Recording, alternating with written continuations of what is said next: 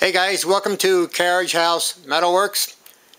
This video features a Doringer D350 cold saw that we currently have posted for sale. This cold saw was purchased for a project that never materialized. We uh, used it once to make this stand right next to it. And after we made this stand for some sanding equipment, we never used it again. So a cold saw, as you know, runs at extremely low RPM.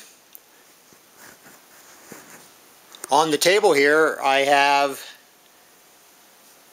some of the angle iron that was cut for that stand that I just showed you. And hopefully you can see the finish on this is quite smooth.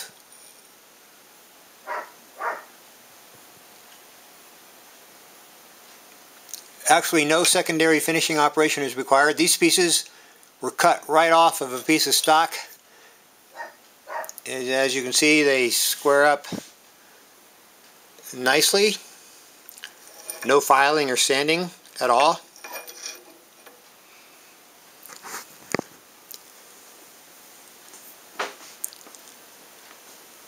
I'm going to set these aside for now.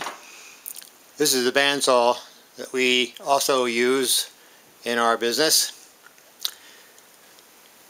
On the table here, it's got a sliding vise nice and smooth. You can set it to the right, clamp it down,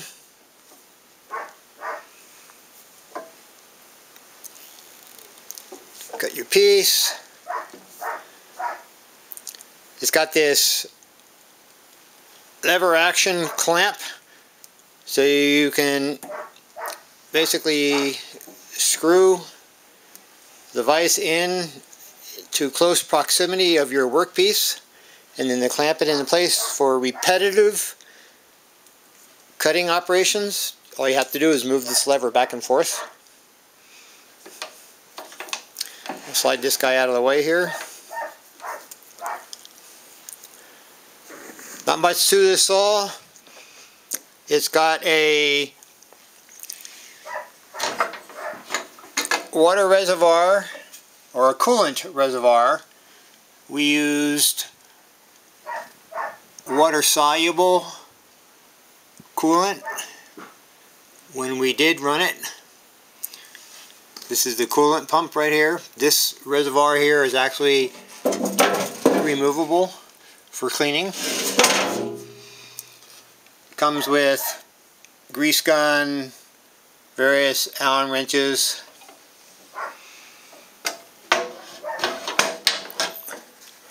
in this upper compartment here there's this tub and what happens here is the chips and the coolant drop down from the collection table above. The coolant drops through this perforation plate in the bottom and this tub here collects all of the chips so that you can dump it out and reuse the coolant. So we have a motor on off switch and just to the left a coolant pump on off switch. And the way this works is you turn the coolant pump switch on. I'll turn on. Nothing happens until you turn the main motor switch on. So if you're running coolant, what you do is you turn the coolant pump switch on and every time you turn the motor switch on, the coolant pump turns on. If you're not running coolant, just turn it off. So to turn this guy on,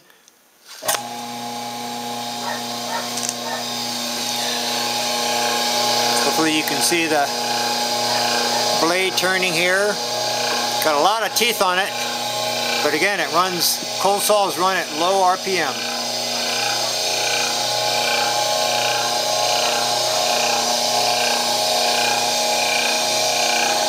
This mechanism here allows you to, when you unlatch it, to lift the blade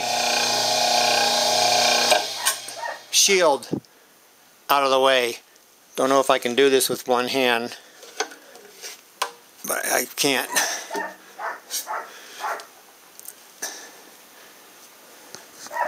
I could. We have the motor here running 220. I'll show you where we have it. Excuse the dog noise in the background, but we have it plugged into a 220 volt outlet here using just a regular like a three prong dryer outlet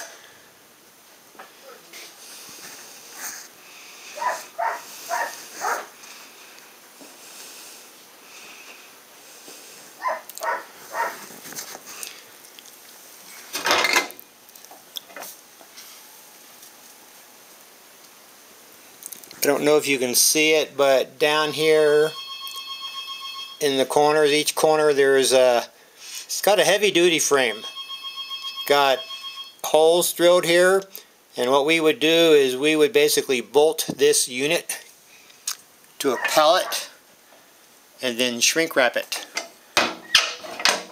for shipment.